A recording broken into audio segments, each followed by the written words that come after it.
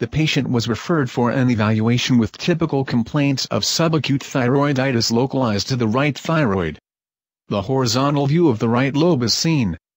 The thyroid is composed of smaller and larger hypoechogenic areas mixed with echonormal parts. The borders of the hypoechogenic lesions are blurred. The vascularization is not specific, we can found areas without vascularization but also those with average blood supply.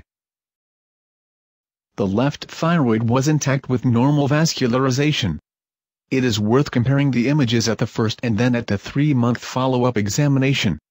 The complaints were localized to the right thyroid at the first investigation, while the left lobe was uninfluenced.